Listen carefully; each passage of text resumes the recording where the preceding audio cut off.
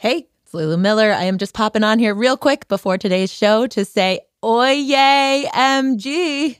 OMG, Oye, MG. A little show called More Perfect is coming back. More Perfect, of course, is the podcast that OG Radiolab host Jad Abumrad co created with Kelsey Padgett and Suzie Lechtenberg. And it's a show that takes on stories about the Supreme Court in surprisingly fresh and human and sound rich ways. And now it is coming back with a brand new season and a brand new team. The old team has passed the torch to host Julia Longoria, who you may know from being the host of The Experiment. And she was also a producer on the original More Perfect team. She doesn't just understand the show, she is part of the DNA of the show. Um, and stories about the law and court have long been her passion. And she is joined by a whole new team to tell stories about this moment, which, you know, maybe just maybe the Supreme Court feels even more relevant and a part of our lives than it did when the show launched seven years ago. So, anyway, brand new season coming, all kinds of stories. It's just popping off starting this week. We highly recommend you go check it out. If you subscribe to More Perfect, but you've forgotten, it's way down at the bottom. Go go see what's going on there. If you never did, that's More Perfect. I'm really excited. I will be listening and I hope you do too. All right. Now on with our show. Today, we actually have another look back. As you may notice, we do this every other week. Uh, we're, we're diving headfirst into the war you've probably heard the most about, World War II, to hear two stories you've likely never heard, unless you heard them here. Because again, this is a rerun. It's a great one. We hope you enjoy. It's called The War on Our Shore. Yeah, you're, wait, wait, you're listening. Okay. All right. Okay. All right. You're listening, Listening to Radio Lab Radio Lab. from WNYC.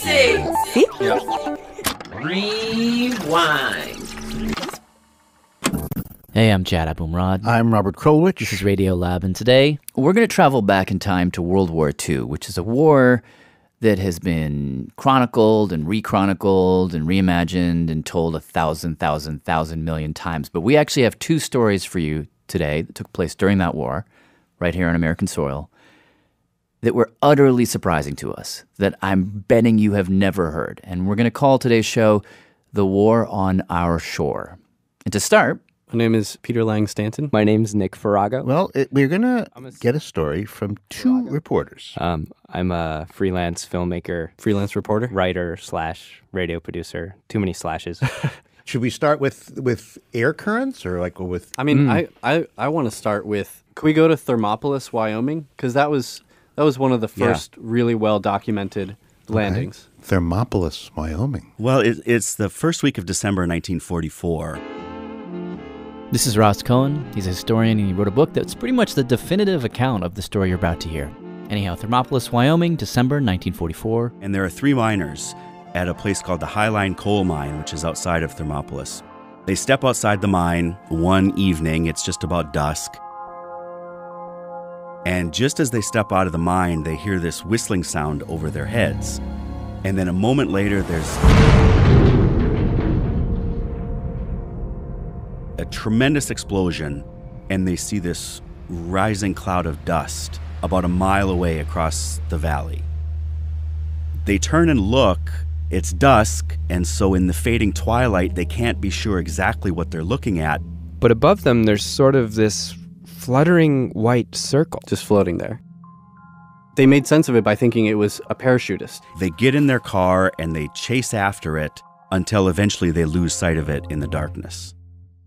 Right around that same time, About 500 miles away in Colorado, a boy and his dad are working in the barn.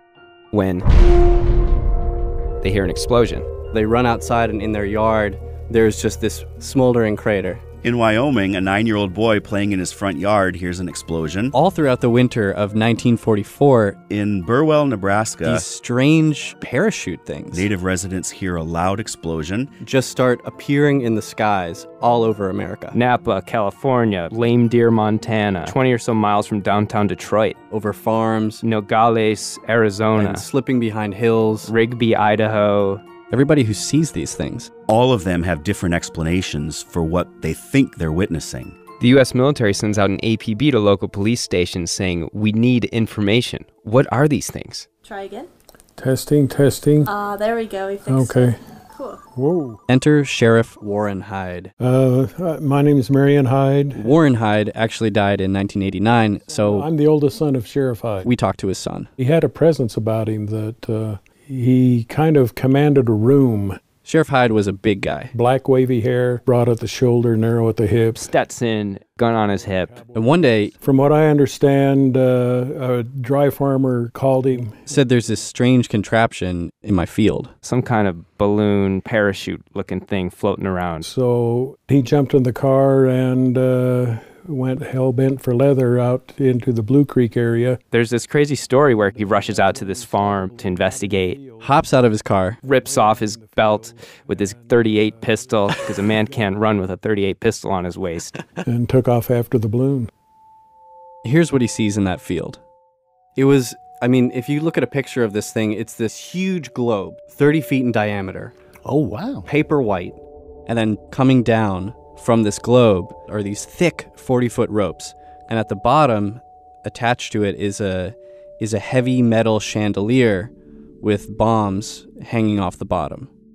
And Sheriff Hyde, he sees this thing, runs out into the field, grabs onto the ropes to maybe tie it down, but just as he grabs it, A gust of wind comes by, Lifts him up off the ground. like he was uh, paper doll. And so he's dangling from the ropes of this thing. The balloon is above him, the explosives are, are below him, and it takes him across this canyon, and he's holding on, just dangling from it, still trying to wrangle it like, like some bucking bronco. He lands again, he tries to tie it to a juniper bush or something, but the wind catches it again and goes back over the canyon. Back to the first side? Back to the first side. And uh, they started to float around the field. He kept wrestling this balloon for a long time. He's nauseous from being spun around on this balloon. His vision's getting blurry. His hands are becoming raw from the rope, but he feels this like sense of duty. He knew that the government wanted one of these balloons. It's his territory, so he's got to take it down. That's right. He finally,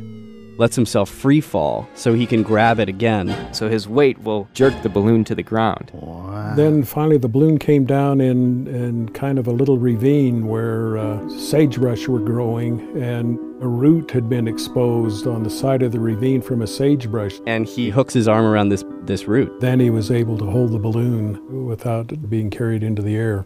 So he actually captured the thing? Yeah. D- J. Edgar Hoover wrote him a personal letter of thanks. They end up shipping all of the evidence off to the Aberdeen military um, research facility. where they had gathered all this different evidence from all over the country. And They were able to tell that Apparently, this bomb matched known characteristics of Japanese bombs. So it's Japanese. Yeah, but it's impossible to send a balloon across the Pacific Ocean at this point. I mean, it's never, never been done. I mean, it's basically an intercontinental ballistic missile. So they're trying to figure out where it's coming from. They thought maybe they were being launched from submarines. Maybe they were coming from beaches in North America, from saboteurs. There was even speculation at one point that maybe they were coming from Japanese internment camps in North America. Ah. Then Two days before Christmas, 1944, in Alaska, a native Alaskan trapper tracks one down. And it has two sandbags still attached to the bottommost ring. And that turns out to be the key to the mystery. Sand? Yeah. Well, it's not just sand, there's a lot in there. My name is Elisa Bergslien, and I am a forensic geologist. We called up Elisa to help us understand this next part. What happened was the sand from the balloons was sent to Washington, D.C., to some scientists at the U.S. Geological Survey. Right away, They discover that there's no coral. so, you know, finding no coral, you know, you're talking cold water now. They look at uh, the diatoms, Marine bivalves, microscopic fossils. mollusks, minerals. By compiling all of these different characteristics, Put that all together, where would you find these diatoms, these minerals that you wouldn't find coral? Though all those different pieces of information All together, the geologists are able to determine that there are two or perhaps three beaches in the world that fit all of these qualifications. where they believe this sand could have come from, and all of which are on the east coast of Honshu, the largest of Japan's four main islands. You can get that kind of specific from sand? Yep. And why would the Japanese choose to to deliver bomb payloads by balloon? That's a, it's a strange choice. I mean, particularly after Pearl Harbor, you know, it's like they, we already know Yeah, they, can do planes, Yeah, right? they got planes. yeah, why balloons? Well, Now it can be told. History in the making. it, it grew directly out of the Doolittle raid. Back in April of 1942, United States Navy aircraft carrier Hornet steams westward across the Pacific. Jimmy Doolittle and his raiders Took off from an aircraft carrier deep in the western Pacific. and dropped bombs on Tokyo and Yokohama and Kobe and a number of other cities across Japan. Greatest surprise raid in the history of aerial warfare. now they didn't do a lot of damage physically. But it was such a shock to the Japanese to think that their homeland could be invaded, that these planes could actually fly over the imperial palace, the home of the emperor. And it, Doolittle and it went over the palace. I didn't realize that. Yeah. he went all the way downtown in Tokyo. Oh, yeah, right over the city. And so immediately after the Doolittle raid, an order went out. It was just find a way to bomb America.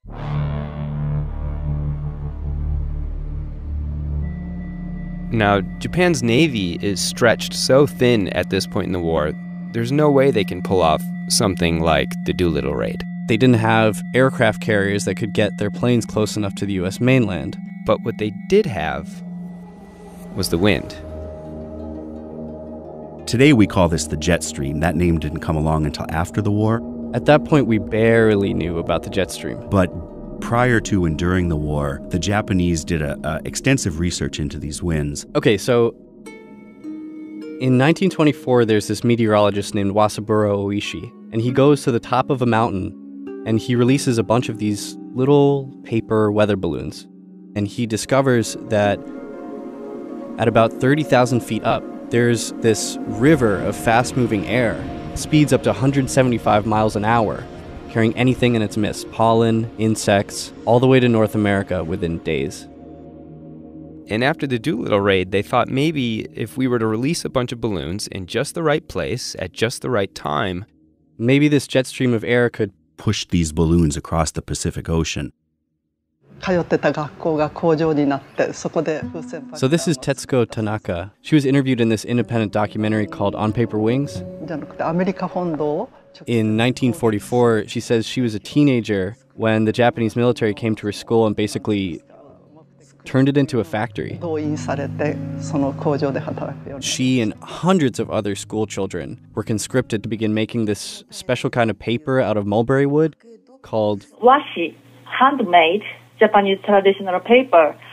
This is Maho Shina, who now works at the Noborito Institute in Japan. Huge amount of paper was required. Maho says that girls would work 12 hour days making thousands, tens of thousands of these sheets and gluing them together. and after they finished producing the balloons, and after the balloons were strapped with bombs, they were shipped off to those beaches and just let go.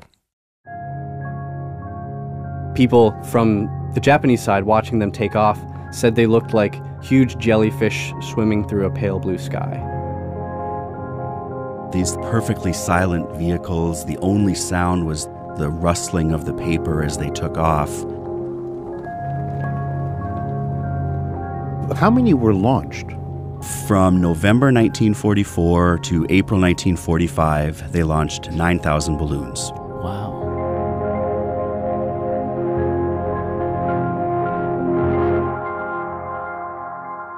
They, I guess, figured it would be it would be more terrifying to have bombs raining down silently from above with no calling card at all than with a Japanese calling card.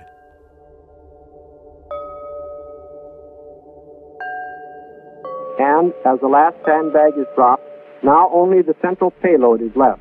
This is audio from a declassified Navy instructional video made about these balloon bombs in 1945. In the event one of these units is found, do these two things to render it harmless. It explains to soldiers how to what to do if they find one of these bombs and how to defuse the bomb. But I think the most interesting thing about the video is this text that's written in huge block letters right at the bottom of the screen. It says, "Do not aid the enemy by publishing or broadcasting or discussing information."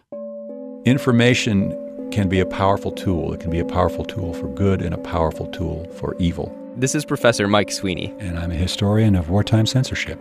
And he says that immediately after those first balloons landed, There are a few stories that appear in the local newspapers in the far west. Stories about a Japanese attack on the mainland of the United States. Time and Newsweek even picked it up. Saying, we're not sure what these are, but, you know, are these Japanese spies coming in on these balloons? Is this a large scale attack? What is going on?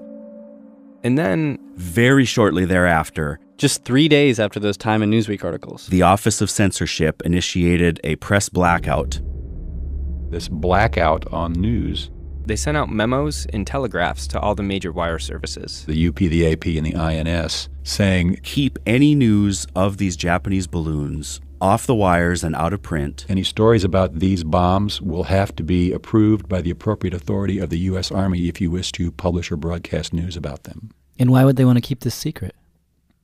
So the government's ideas about why balloon bombs should be censored, in particular the Army's ideas, were number one, to avoid panic. These things are instruments of terror, right? You can't be afraid of something you don't know exists. Number two is uh, avoid helping Japan. It was thought then that if we printed exact coordinates of particular bomb landings, that this would help Japan better target the bombs. And what do the reporters think about this? They grumbled sometimes, but they complied. Really? Yep. Everyone in the news industry was as patriotic as the rest of the country. That is, the vast majority of journalists supported the war. And of course, if you screwed up and you sent out a story that got American lives killed, you could be prosecuted under the Espionage Act. Furthermore, can you imagine what your listeners would do if you were the radio station identified as killing 100 American sailors? So the newspapers and radio stations kept their mouths shut, which meant that most Americans never even heard this was happening. And more importantly, the Japanese weren't really hearing about whether their bombs made it or not. So they probably concluded that it was basically a failed experiment, which largely it was. Of the 9,000 released, virtually none caused any damage, and certainly not any terror. Except for this one balloon. That's coming up.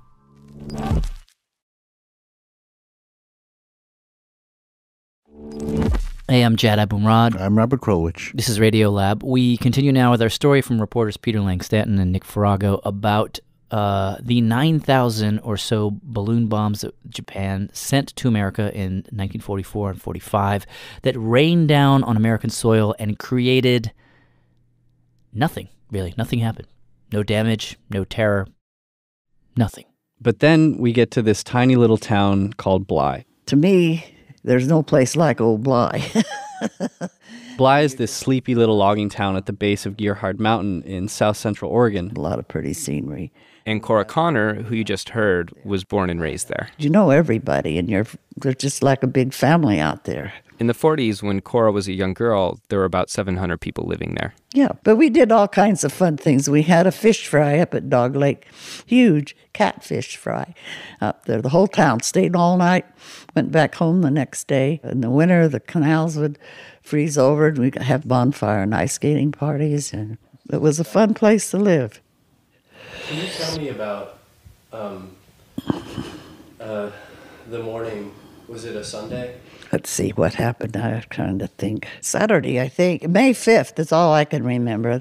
Yep, that was May 5th. May 5th, 1945. But it was a beautiful day. The sun was shining bright. And the Reverend Archie Mitchell and his wife Elsie, who was five months pregnant with her first child. Knew him very well. Sunday school, I went to church occasionally up there. They took their Sunday school class out for a picnic. There were five children that went along on that trip, ages 11 to 14. And one of the kids, we called him Dickie. He had a crush on my sister, who was a little younger than me.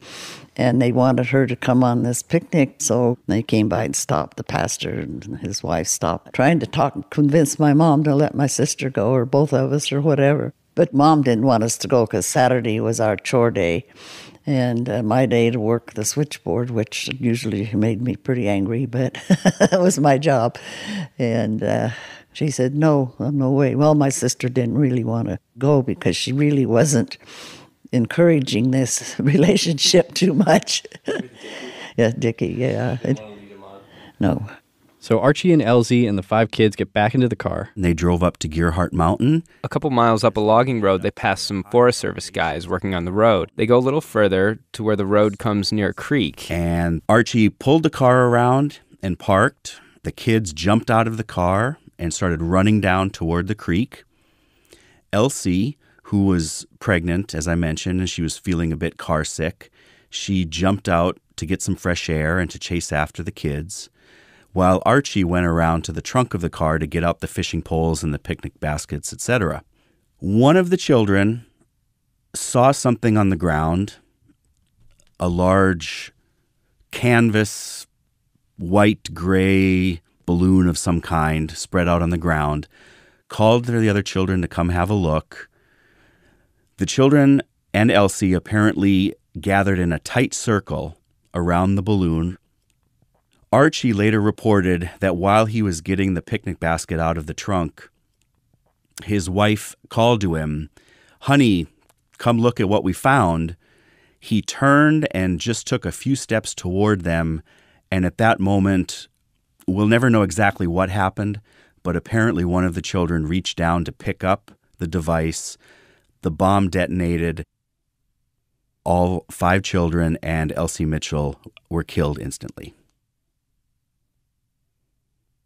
The Forest Service guys down the road were close enough to hear the blast. They come running when they hear the explosion and they see Archie Mitchell has run to the site and his wife's clothes were ablaze. And Archie was kneeling over his prostrate wife, uh, beating out the fire with his bare hands. Hmm.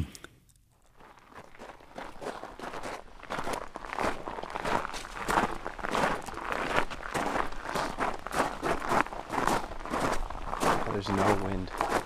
On our last day in Bly, we went to visit the site where the bomb went off. It's in the middle of nowhere. It's just a chain, it's this little chain, fenced off area, like a little pen. And there are these tall pine trees. Yeah, it's just huge cuts in the tree. Was there shrapnel cuts in the tree? Yeah. Yeah, they still. This hasn't. Uh,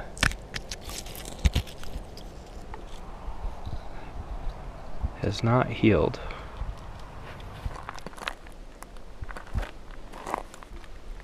Eerie place.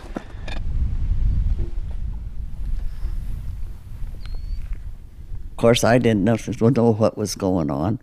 This is Cora Connor again. At the time, she was at her job watching the switchboard when The guy that was working up there for the Forest Service come rushing into the telephone office, and I mean, he was scared, pure white and scared. And I thought, my God, what's going on? What's happening? And uh, he came in and made the call to Lakeview. the naval base in Lakeview. And about a half an hour later, this, you know, big imposing military guy comes in. He was all medals and all full uniform, you know.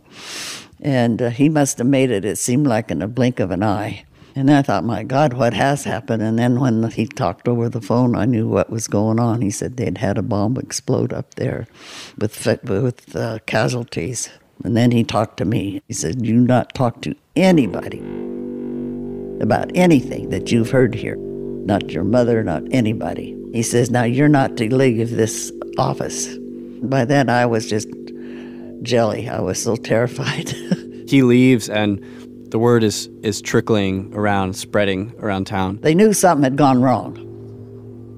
And they gathered at the phone office because the phone office knows everything in the whole valley.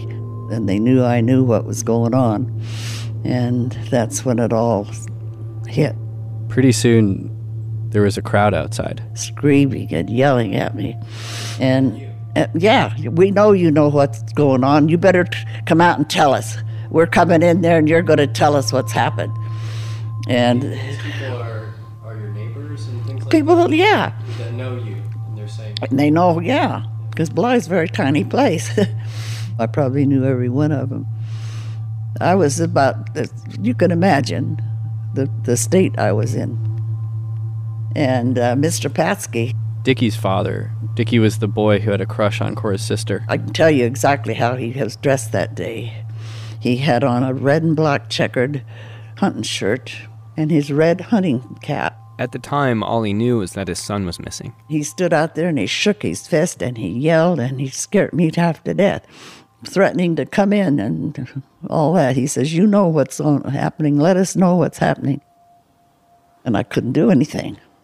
I sat, I sat there all day. Of course, 16. You know, it really, really tore me apart. I was just in a complete fog for days.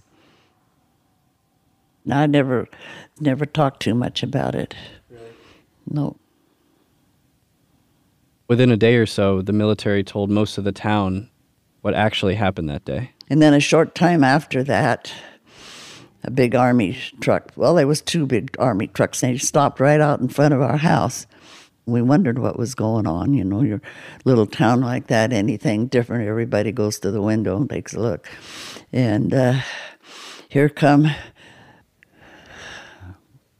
Okay, this is awfully hard for me. A woman and a little kid jumped out of the back of that truck. She was Japanese. They were on their way to the Tule Lake. The Japanese internment camp nearby. And she's screaming and crying and praying, Please, we need water. We need water. It was hot. It was really hot that day. And they were in a canvas covered truck jammed in there. And I grabbed a pitcher, a bucket, or whatever was there in the kitchen, filled it with water, and started out the door. By that time, they were throwing rocks at that lady and her kid. People in that town were so terribly upset, and they were throwing rocks at her. And mom wouldn't let me go. And I screamed and cried at my mother because she wouldn't let me go. She says, You can't go out there. They'll throw rocks at you. I won't let you go. And to this day, that picture is in my mind. And I've prayed to the Lord to forgive the people that were doing that and to try to. I can't accept it. There's no nothing can make me accept what happened. I thought that was the most horrible thing in the world people could do. A woman and a child. They had nothing to do with the bomb, nothing to do with the war, nothing.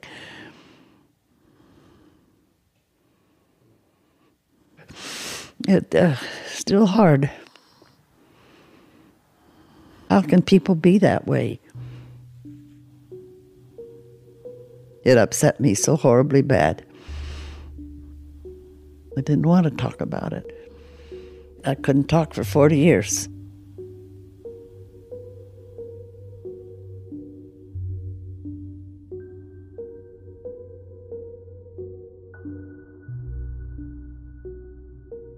It's weird. Like, there's a kind of weird, s- scary symmetry to this whole thing. Like, the Japanese military was trying to create terror, right? Mm-hmm. Like what they felt after Doolittle. And so they wanted to make the situation where, like, bombs were falling silently from the sky. We couldn't even tell where they were coming from, almost like the gods were dropping them. But we kept it quiet, so nobody panicked, except by not saying anything.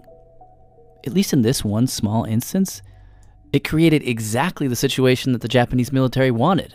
I mean, not on the scale that they wanted, but like in its effect, it's like a concentrated version of the thing that they were trying to create. Right, but that's the That's a the problem. That's not a problem. Five is five is a sacrifice in war. What is it? Five, six people. Yeah, There but- what there were there were 125 million people in America then. Hmm. I think there actually might have been a little bit more than that. Well, you can see what it would have been like listening to this story. You could see what it would have been like if if this story had been well known and had been told from person to person, and if everybody was looking up and wondering where the next strange thing was coming from. Well, they wouldn't. They there might have been panic, but those kids wouldn't have tugged on the balloon. That's that's the choice because they would have known. Yeah. At the end of the war, the War Department destroyed all of the evidence. They didn't want these any evidence of these balloons um, just out there in general circulation. Huh. This is one of those footnotes to the war that you know at the end of the war just never people people forgot about something that they didn't know about anyway. Wow. Ross, are there any more out there? It's estimated by the War Department that of the 9,000 released, they thought that maybe 7 to 10% of the total would have survived the transoceanic crossing and arrived in North America. That's 900. 300 are confirmed as having arrived in North America. So that means there are dozens, perhaps hundreds, that arrived in North America but were never accounted for. In the 10 or 12 years immediately after the end of World War II, a couple dozen of these things were found. And then the recoveries stopped. Were they, were they live, like the one in Oregon? If you touched them, would they blow? Some blow of up? them were. Wow. Some of them were. Now, here's the fascinating part October of 2014, I kid you not, Dave was ahead of me, and he'd stopped and uh, said, "I think I found a bomb." a couple of loggers Yeah, my name's Brad Simlinger. My name's Dave Bridgman. in Lumby, British Columbia, who were doing some survey work, You know, this is the middle of nowhere. found the remnants of a Japanese balloon that had been on the ground for 70 years. Uh, we definitely work in remote areas, and in, in general, we don't see much except trees and rock. But uh, you know, there there are those odd special days where you, where you see things that no one else gets to see. I tell you, if you're hiking, if you're out in the woods in the Pacific Northwest, watch where you step.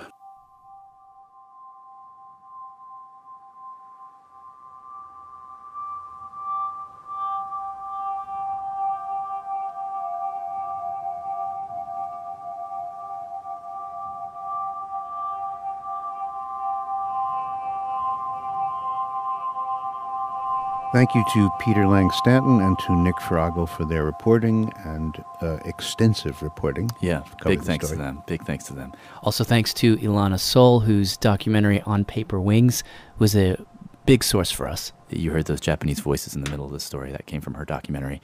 Also, our- we have original music this hour from a couple of folks Jeff Taylor, Michael Manning, David Wingo, Justin Walter. And if you want to see these balloon bombs, we have some incredible pictures on our website, radiolab.org. We're sad to report that since we first aired this episode, Professor Mike Sweeney passed away in 2022. Coming up next, we've got one more story about the war on our shores, and I've got to say, this one is a real doozy.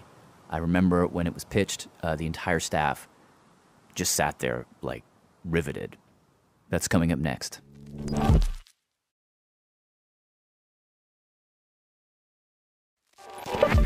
Okay, I'm Jad Abumrad. I'm Robert Krulwich. This is Radio Lab, and today, What we're going to tell you is an old story. It's about 70 years old, but it's not really as old as that at all because you will notice that it hasn't ended.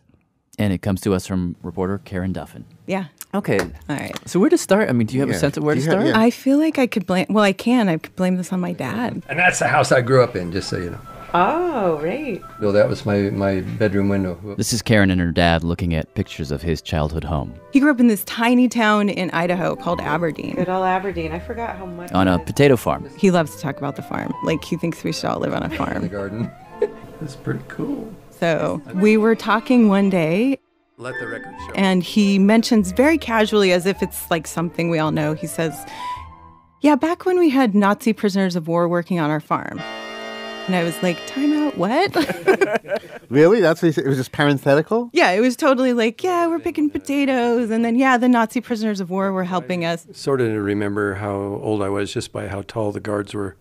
They were very tall, He was only three or four at the time. very, very tall. Do you know if there were like dozens of prisoners or just like a handful?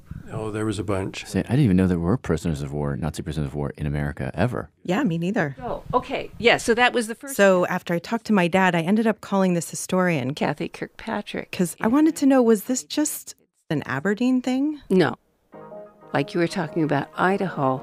She told me in Idaho alone. There's branch camps in Aberdeen and Blackfoot and Emmett and Folly Lake, Idaho Falls, There were 23 different camps. Generally, you had prisoners that were in churches, tent cities, and Paul, rodeo grounds, dormitories, Hello, and high school gyms. Sugar City. And this was the case all across the country. The only state that did not have prisoners of war was Vermont. Wow. At the maximum, we had over 371,000 Germans, 51,000 Italians, and 5,000 Japanese.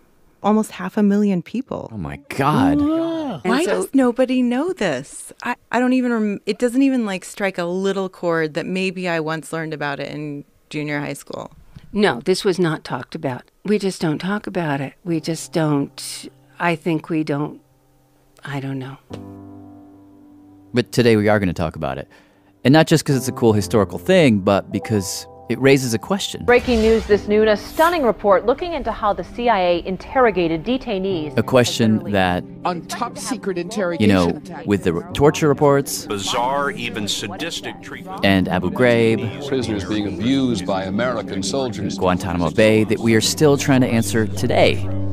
Which is, you know, when you capture an enemy soldier, take them out of the battle, out of the fight, how should you treat that person? And if both sides have agreed to follow certain rules and one side doesn't, what do you do? And the interesting thing was that 70 years ago, this question was playing out in this really dramatic way in all of these towns across America. There were about 200 base camps that were huge. They were like up to 8,000 people. And by the way, that's like 70 times the size of Guantanamo Bay currently. In any case, As she was researching, Karen started to zoom into one camp in particular. So, this is really illustrative of what happened. There's this one camp in Aliceville, Alabama. It's this tiny town of like 1,500 people, but the camp has 6,000 people. wow, that's like four times the size of the town. Yeah. So, I went and interviewed a bunch of people guards, prisoners, locals from Aliceville, and It was quite a day. That's Thomas Sweet. He worked in Aliceville. And he told me that the day that the prisoners came, so a thousand of them came at first, and the police were like, nobody is allowed on the street. But of course, When word got out that the first train load was coming, everybody rushed out on the street. The day the train came in, there wasn't supposed to be any townspeople, but uh, of course there was. Everybody was out. The road was lined with kids from three years old up to people 70 years old. so these voices are from an oral history project that was recorded in 1994 about the prison camp in Aliceville. So we all climbed the lumber pile so that we could see them when they got off the train. So everybody's super nervous because they have these images in their head. In my mind, just like a lot of people in Aliceville, they didn't know what kind of devils we was going to get off that train. Guys with horns on their head. So these prisoners that were sent to Aliceville were actually part of Rommel's Afrika Korps, and these guys were the most feared of Hitler's fighters. They were supposed to be the elite. So-called Nazi supermen. the Nazi supermen, right? So the train pulls up, They stopped right on the main highway. doors open, and then hundreds and hundreds of German soldiers get out. And they were marching with that German march. And they're singing their military songs in German.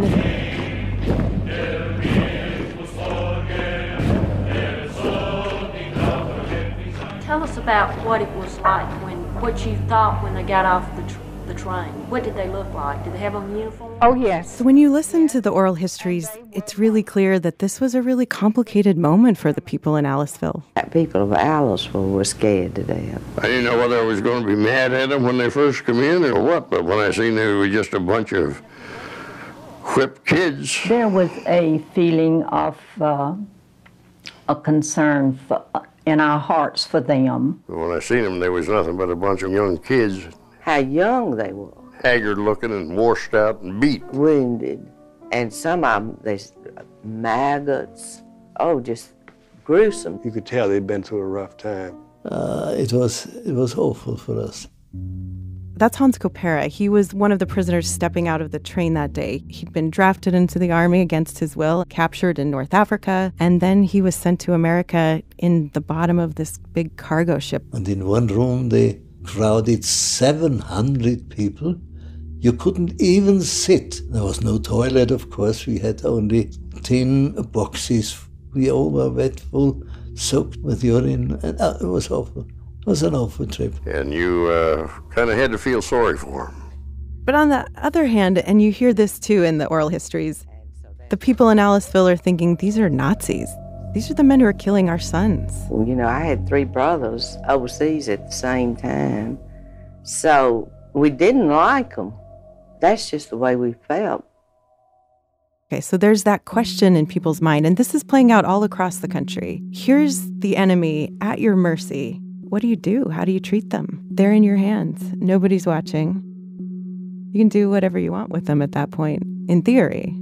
But in practice, Well, actually, this was a significant moment for the world. I mean, 14 years before, a bunch of countries had gotten together and they'd made up rules for exactly this kind of moment. In 1929 at Geneva, long before Hitler and his partners began to eye the real estate of the world, there was an international conference. Here, nations solemnly promised to uphold the rules covering the treatment of prisoners of war. Oh, it was a series of, of do's and don'ts.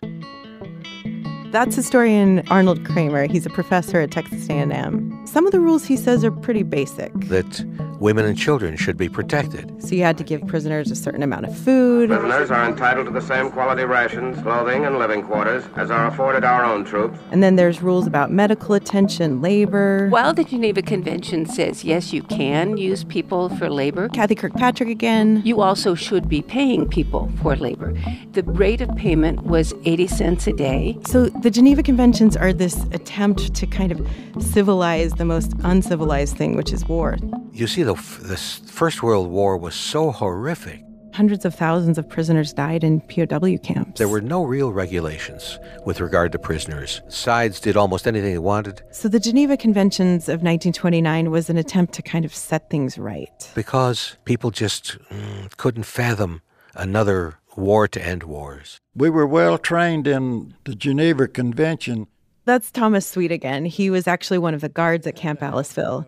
And what he said is that even before the POWs arrived, the Geneva Conventions were drilled into their heads. They had lectures, the rules were posted in the rec hall and in the officers' club. We had to, um, the prisoners had to be treated the same uh, as you would uh, your own fellow soldiers. Which sounds kind of basic, but for somebody like Hans who's stepping off this train and wondering how is he going to be treated? It was, it, I, sh- I should say, it was really a sort of uh, heaven. When they got into the, the barracks, had all been laid out. Barracks were fresh, and clean. They had uh, towels and shaving equipment for each one on each uh, each one's bunk. The prisoners washed up, and then the guards opened up the cafeteria. Then we got to eat good things. This is Walter Feldholder. He was another prisoner at Aliceville. We got a piece of white bread, of your American white bread, and we got peanut butter. I didn't know what it, what peanut was. And it tasted wonderful, wonderful. It was the best dinner I ever had. And I always, when I think on the good times, then I think on peanut butter. yeah, And here's the funny thing like, as you look into this, you start to realize that we're not just following the Geneva Conventions, the letter of the law, we're going above and beyond.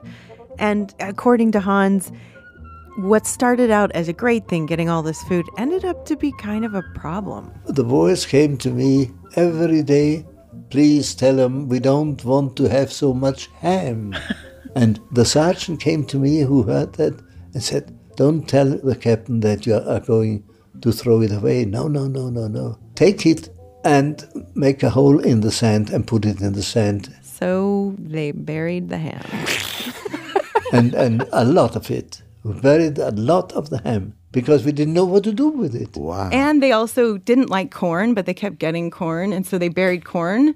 And then they get caught because corn starts growing. so everyone's like, wait a minute. Very bad corn hiding. Within two months, they have an orchestra. Within a year, they have three orchestras. This is uh, POW-led orchestras. Yes, yes. And they're, With- so they're being given instruments. They're making instruments. The locals are donating instruments. The YMCA is giving them instruments. They open a school. You can learn anything from pottery to like mathematics, almost any language you want to learn. And they set up correspondence programs with the local universities. You could get credit. Wow. They had soccer games just about every day. They drew big crowds. They had a newspaper. Their newspaper was called The Fenced Guest, and it had like poetry. The Fenced The Fenced Guest. right. They they also did a lot of theatrical productions. And sometimes there were regular art shows. So this is where things get a little bit strange. On December 18th, there was another art eb- exhibition. This is a woman named Ellen Vonders, whose father was a POW at the camp. And here she's reading from his diary. December 12th, der Führer, that means Hitler, had sent $12,572 to open the art exhibition in Camp V. Okay, wait. She's saying that wait, Hitler sent money to the camp for an art thing Yep. while during while we're fighting Hitler. He's sending money. Yeah.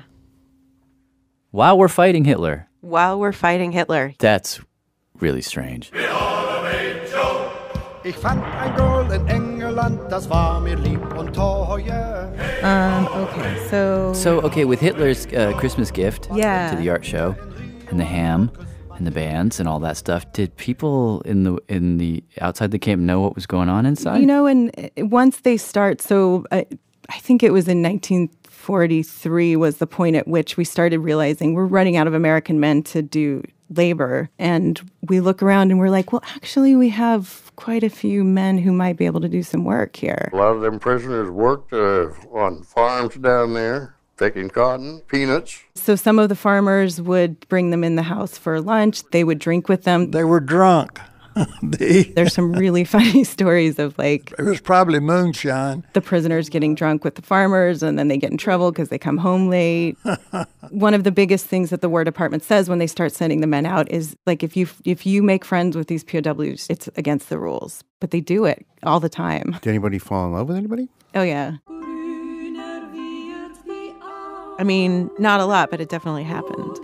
So, as these prisoners are out in the community and they're forming friendships, a few of them are falling in love, word starts to get out about how they're being treated. And meanwhile, across America, there's rationing. And so, when they learn that the POWs are getting food that they might not be getting, a lot of the American public they get pissed. The editorial room of the Jergens Journal and Walter Winchell. Especially this radio guy, Walter Winchell, who sort of made this his cause. They call him the Rush Limbaugh of World War II. Was he that well known? Walter Winchell was one of the most famous reporters in America. He spoke like he was on a telegram. Washington. In Washington, I have orders. Who outside? Why? And he spoke in this funny nasal voice. Oh my God, that's exactly what it sounds like. A radio dispatch from Prague. So, in any case, when he finds out about the Nazi POW program, Walter Winchell just starts to rant about it. The United States Army caters to the Nazis as though they were kings. They get more food than our soldiers get. Ponies, radios, luxuries, and all sorts of leniency beyond imagination. And he would do this week after week. We coddlers over here won't have any Nazis to capture and fatten up on steaks, butter, ham, and bacon, or chopped chicken liver. People start writing articles in the New York Times, the Chicago Tribune, the Boston Globe. Citizens start flooding the War Department with letters. I know, sir, that your YMCA War Prisoners Aid does all it can to make Nazi war prisoners over here comfortable. And in the meantime, according to Thomas Sweet, inside the camp, some of these prisoners are starting to get kind of bold. For a couple of nights, they'd cut out swastikas and took a kite and uh, was flying the kite and had these swastikas in a box underneath the kite with a string that down to the ground. And uh, they handed the string to one of the one of the guards and said, "Pull this string." And when they pulled the string, the trap door opened on the gadget they had made, and all these swastikas started falling all over all over the camp and in Aliceville too, and the townspeople started calling the base mad about that.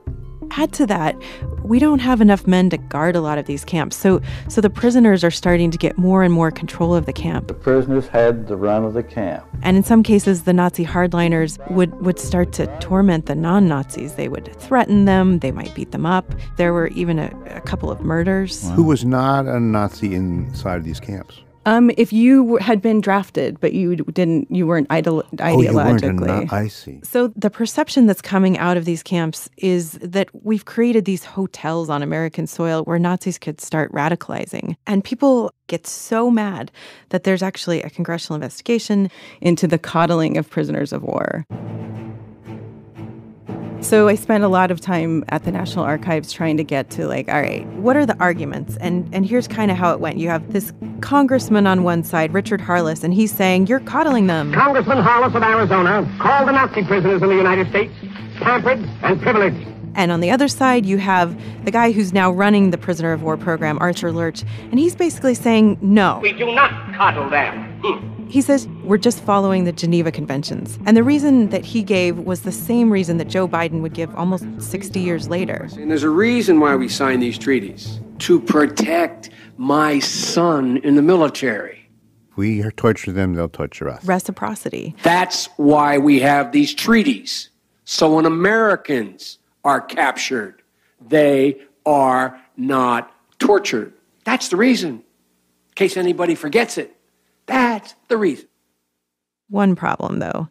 Just one month after that hearing in 1944, Unarmed and defenseless American prisoners fell to the machine guns of our enemies. news breaks that 84 American soldiers, prisoners of war now in Germany, are gunned down after they surrendered. Four weeks later, their frozen bodies, hands and ankles bound, were found where they fell. We then go on to liberate American soldiers from POW camps in Germany, and we find misery.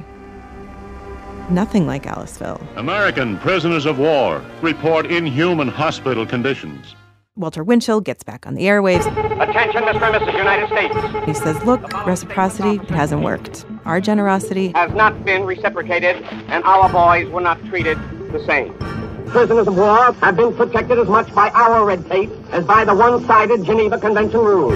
And a few months later, things get even worse. It was impossible to fully realize the horror of the Nazi concentration camps. We start going into concentration camps. The incredible truth that man had indeed sunk below the level of animal bestiality. The British And we start seeing what the Germans have done, what the Nazis have done. Thousands of dead bodies were piled everywhere, most never having received the dignity of burial. But what was even more frightening were the living dead left behind.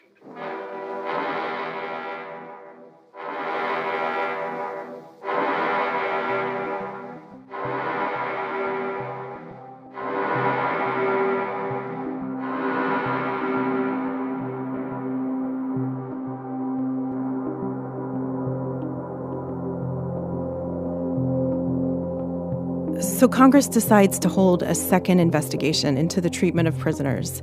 But this time it's real soul searching. I mean, we had just seen the full horrors of the Holocaust, so we're thinking, you know, anything we do to these guys at this point, they deserve.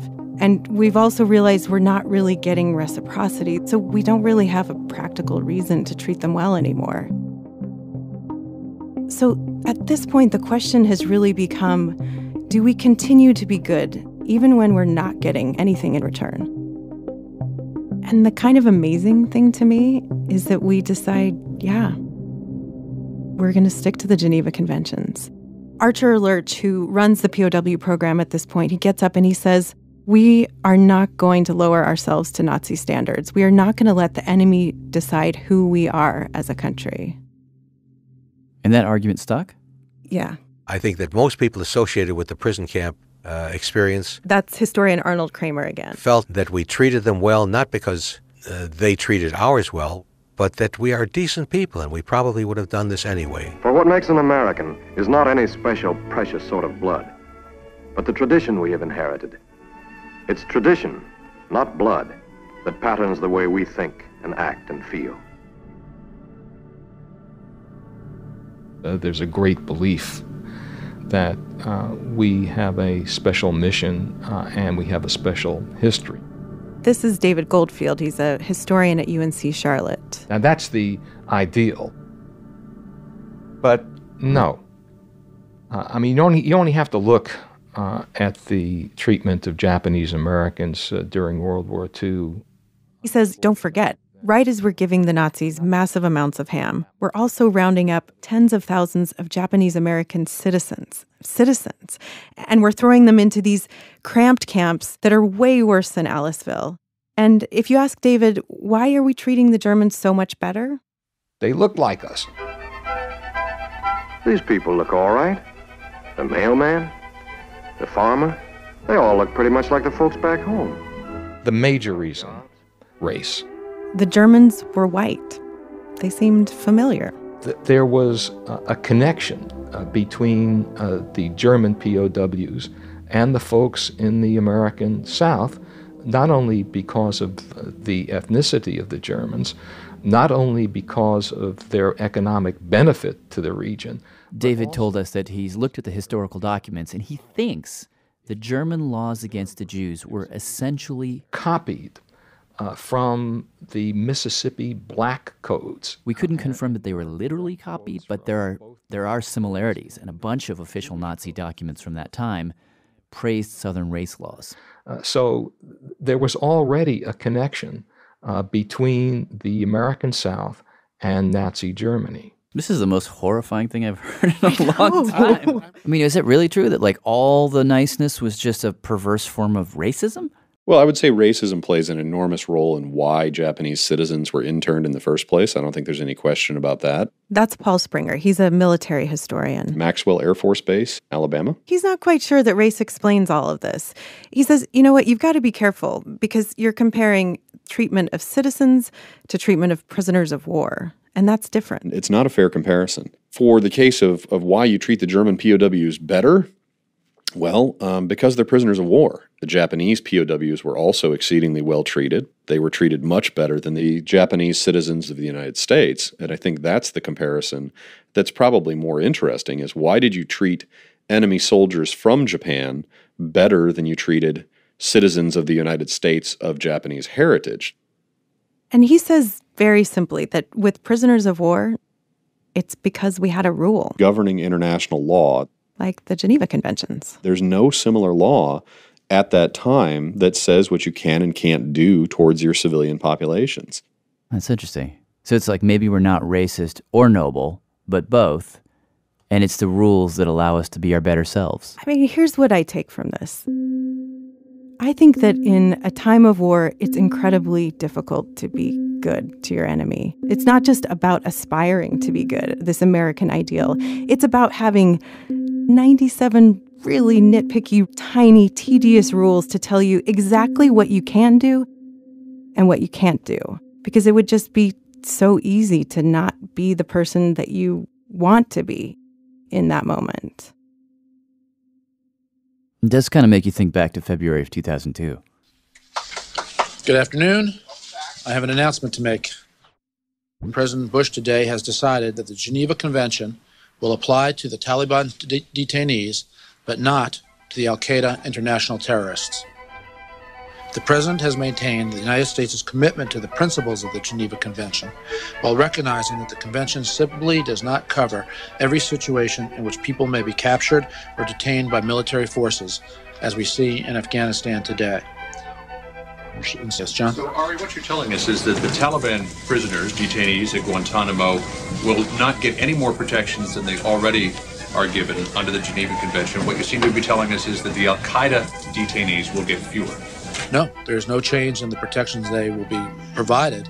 They are they have always been treated consistent with the principles of the Geneva Convention, which means they will be treated well. If you're looking for anything that will not happen as a result of this announcement, it is that they will not receive stipends from the American taxpayers. They will not receive musical instruments courtesy of the United States military. They would have received those had they been declared POWs. They will continue to be treated well because they're in the custody of America. The concern, the debate here was about if you don't do it here, then U.S. soldiers could be mistreated abroad. Isn't that correct? And so, isn't that a big, a big motivation here David, to make sure that U.S. soldiers get the same kind of treatment? It's important for all nations throughout the world to treat any prisoners well, and that is something the United States always expects, and the United States always does. We have time for one more question, and then there's a pool. There's a pool event. Hold, hold, hold, hold it, David. We'll get, David will get one more, and then we'll come around. Go ahead. Specific point. Wasn't this an important concern? I understand what the expectations are, but it was important for this administration to be able to say, look, we want to be able to protect our soldiers in similar situations down the line. And if we if we don't accord if we don't afford uh, privileges under the Geneva Convention, then our soldiers could be in peril. David, I was not in the NSC deliberations where various issues were raised, and so really there's no way I can accurately answer that question. Go ahead, Go ahead David. Special forces, they don't, they often do not wear uniforms. They often do not carry their weapons outwardly. If they are captured, they, they wouldn't be prisoners. The terms of the Geneva Convention apply to all, and those terms speak for themselves. Okay, thank you, everybody.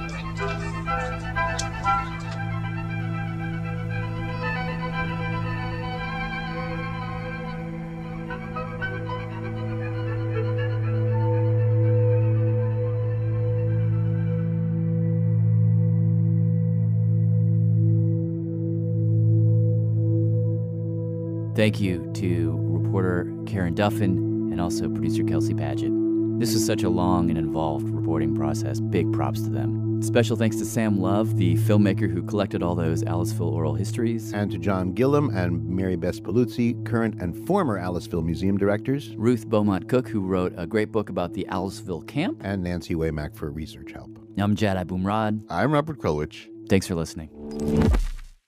Radiolab was created by Jad Abumrad and is edited by Soren Wheeler. Lulu Miller and Latif Nasser are our co hosts. Dylan Keefe is our director of sound design.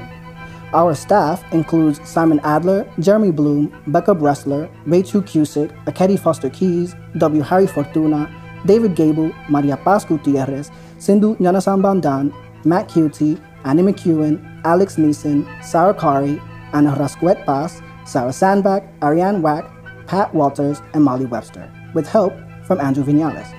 Our fact checkers are Diane Kelly, Emily Krieger, and Natalie Middleton.